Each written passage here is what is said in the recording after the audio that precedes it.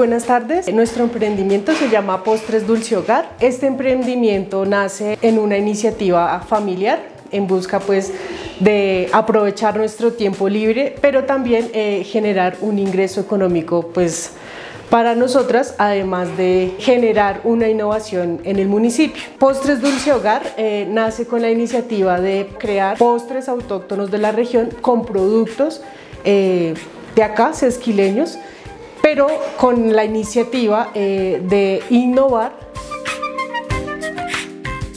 El capital que nos dio la alcaldía nos ayuda a complementar em, nuestro emprendimiento con algunas cosas por ejemplo el horno, eh, la vitrina, algunas ollas, eh, las batidoras y la vitrina. Mi nombre es Laura Musetón, pertenezco al emprendimiento de Postres Dulce Hogar.